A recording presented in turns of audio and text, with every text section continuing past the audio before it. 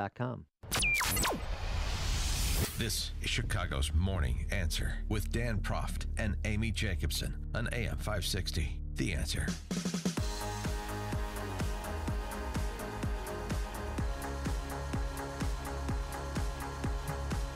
Good morning, Dan and Amy. Amy, you know how uh, uh, Megyn Kelly like interned for you, and then she like shot past you long ago and kind of left you in the okay. dust. It doesn't Oh, even no, talk to you no, no. anymore. That's not true. She was recently at NBC and, and touted my excellence as a as a tutor, as a, as a teacher. I should Yeah, say. I mean, you know, the occasional pander. That's not. oh, that's the not true. She's a lovely woman. Yeah. Let's not get ugly. So as I was saying, so you know, so you know, I have you know Megyn how it and is. Savannah Guthrie. What do you have? Right. So, so right. So you kind of, you know, I wouldn't really. You can't Paula really take. Faris. you can't take credit for them. Well, no, because I, I hel- help them hone their skills. Right. And then they, you know, far They would far surpassed you. Leapfrog. Yeah. Well, I, I had that happen too. Um, so back in 2002, I'm running a Republican candidate's um, race for governor, Mhm. and uh, a young woman named Erika Harold uh, interned. She's from Champaign. She interned on the campaign, and then you know she a couple of, a year later she won Miss America, and then you know basically she doesn't even deign to talk to him anymore, and I don't blame her. You helped her with the talent competition, right? Well, Kind of. and the gown. Uh, I helped with the swimsuit. and now you know so she went on to do all these amazing uh, miss america harvard law school you know be a be a lawyer and um, she'd So run, she's run for office you, oh yeah. yeah i mean long ago like i said so i mean i know the pain Uh-huh. of you know being completely eclipsed by someone once uh, under your mentorship you know what i mean uh, and uh, now erika harold is uh, trying to end the reign of one of the madigans the, the lisa one the one who's been attorney general since uh, 2000, since she was elected in 2002. And uh, so, uh, some good news in Illinois. The battle has been joined, at least for the attorney general spot. And for more on this race and why Miss America Erika Harold, Harvard Law grad Erika Harold, has decided to make the race, we're going to ask her. Erika, thanks for joining us. Appreciate it. My pleasure. Good morning, and don't be so hard on yourself. No, I appreciate. That's what I'm saying. You know, you get the occasional pander, but I, I, appreciate that. Um, no, so Erika, um, wh- wh- why did you decide to uh, leave your law practice and run for Illinois Attorney General? I decided to run for Attorney General because I think that the people of the state deserve an Attorney General who will be independent, who will hold both parties accountable, and who will use the tools of the office to combat public corruption. And our current Attorney General has not done that. When she ran for office nearly 15 years ago, she promised to aggressively combat public corruption, but she has stood on the sidelines when there have been patronage hiring scandals, and I think the people of our state deserve better. What do you think the biggest mistake, though, that she's made so far? Lisa Madigan. Oh boy. Well, I mean, Well, there's a lot. There, there's been the issue of not addressing public corruption, uh, specifically when her father was involved back with the Metra patronage hiring scandal, the IDOT patronage hiring scandal. She had tools of office to address that and chose not to do so. And when you look at the concentration of family power in two statewide offices, that's problematic. When she decided not to run for governor in 2013, she cited that family conflict as the reason for doing so. She said that it would not serve the people of Illinois' interest if both the attorney general or both the governor and the speaker were from the same family. When you have the office of attorney general that's supposed to be a watchdog, that creates an even greater conflict of interest. Yeah, but I mean, to be fair, before she was Attorney General, she only had her law degree for like five minutes, so maybe she just doesn't even understand the, uh, the the job and uh, you know the criminal statutes under which she could prosecute public corruption. I I think she's a formidable person and a good attorney, and therefore the fact that she's not using those tools of office makes the public wonder why is it that there are one set of rules for the regular people and then another set of rules for the politicians. Now, one of the questions that'll be put to you that was put to her when she was running in the primary way back in 2002, I remember because I'm old. Uh, she ran against John Schmidt, who was Oh, like n- number three at Justice, or maybe he was number two at Justice under Clinton. I mean, this is a guy who was like a career prosecutor, and she never prosecuted Right. anything and still hasn't, as Erika's recounting. Um, but uh, sh- she was not a prosecutor. You're talking about public corruption. Um, you don't have a background as a criminal prosecutor, so uh, how do you address that? Well, there are a host of, of, of issues that the Attorney General is supposed to address. Part of it's public corruption. Another large part of it deals with litigation experience, and I have a strong background in litigation. The other is to bring issues that are innovative in terms of addressing criminal justice issues in Illinois. And for the past 10 years, I've served on the National Board of Directors of Prison Fellowship, which is the largest outreach to inmates and their families, and is one of the leaders of bipartisan criminal justice reform efforts in this in the country. And so that's a background that gives me a unique opportunity to advance some innovative ways of addressing recidivism and crime and violence here in Illinois. And that's an issue where I can be a leader and she is not. All right. So on Monday, a little birdie has told us that uh, Governor Rauner is going to be signing uh, Illinois the bill to make Illinois a sanctuary state. And when that you, little birdie, by the way, the Chicago Tribune. yeah, the, I mean it's Yeah. kind of a big birdie, kind of a big birdie, but you know, there's, there's rumblings. Um, and what would you do as Attorney General, and what can you do as Attorney General to stop that or try and prevent that from happening? When you're the Attorney General, your job is to enforce the law. So, regardless of your opinion on particular bills and particular pieces of legislation, if you're the Attorney General and someone challenges the law, it's your constitutional responsibility to defend that law in court.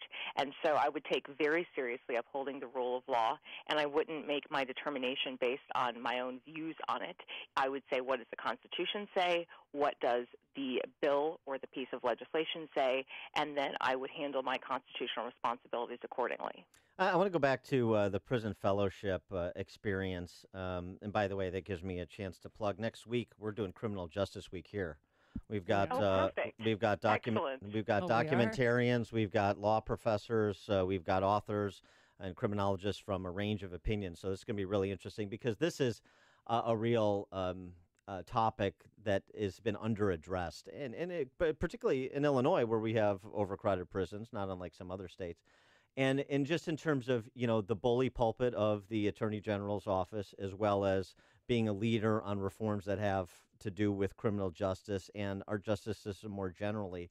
Um, to speak to a little bit about your experience and how it could be applied to think about things like sentencing reform, uh, alternative sentencing, those type of topics that are much bandied about now, but um, we've seen some progress, but sort of marginal in Illinois. Absolutely. And it's and it's a topic where both parties have the ability to collaborate and you don't see much of that happening here in the state, and so it's a great opportunity for that. But my own background is both focusing on a policy perspective, but actually going into prisons themselves and actually speaking to people whose lives have been affected by crime and addiction. And I think it's the going into prison part, first and foremost, that gave me a renewed sense of empathy and understanding for what is broken within our system. And that was I started going into prisons when I back in 2004.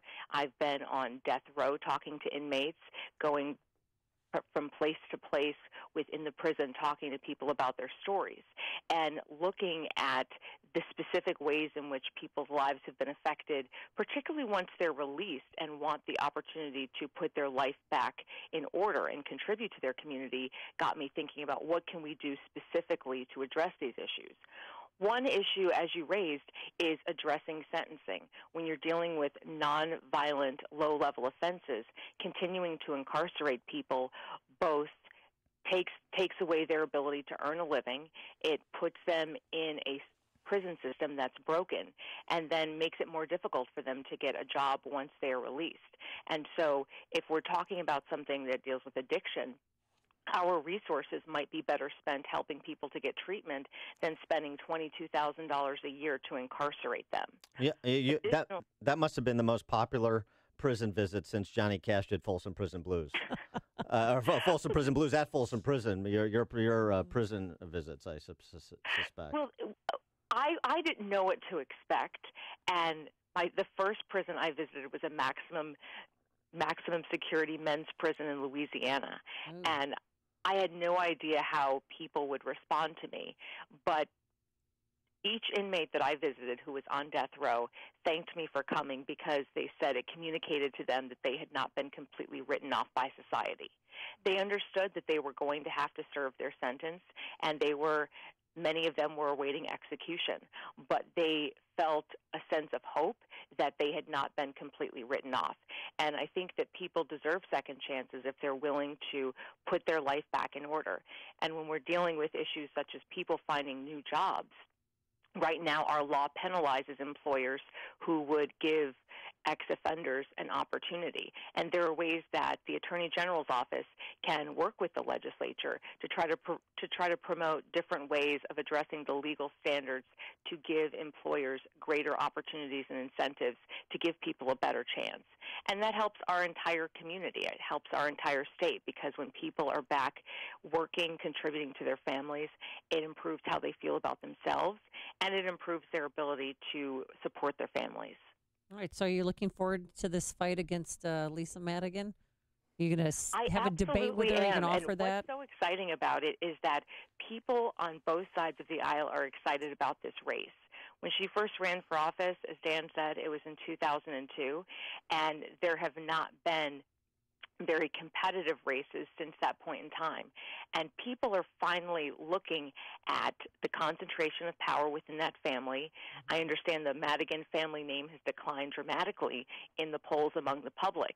And this is a fight that people want to have because they're understanding how that concentration of family power is thwarting reforms, whether it's term limits, fair maps, and they're understanding that they want the opportunity to have a change and a break in the status quo. Uh, for those uh, who don't know you, aren't familiar with your total story, uh, you come from a biracial family. And so I wonder if you have any comment on, you know, the state of uh, race relations, tension, elevated, uh, and in some cases incendiary rhetoric uh, going on both uh, in Chicago and the nation generally.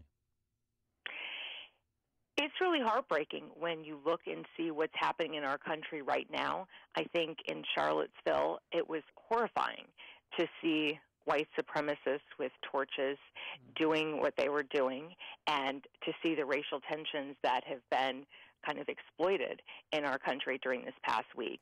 And you know, as a person of faith, I'm certainly praying for our country and certainly praying that we can start to find some sense of unity because we have very serious issues to address in this country. And continuing to fight each other is certainly not going to help us move forward. She is Erika Harold, uh, Miss America 2003. Uh, U of I, what, what class were you, U of I? 2001. 2001. A proud Illini person. Oh, there you go. There you go. That's how you know you went to Illinois, right there. Uh, Harvard Law grad, uh, attorney, now candidate for Illinois Attorney General against Lisa Madigan. Erika, thanks so much for joining us. Appreciate it. Thank you for having me. And she joined us on our turnkey.pro answer line. Listen to podcasts.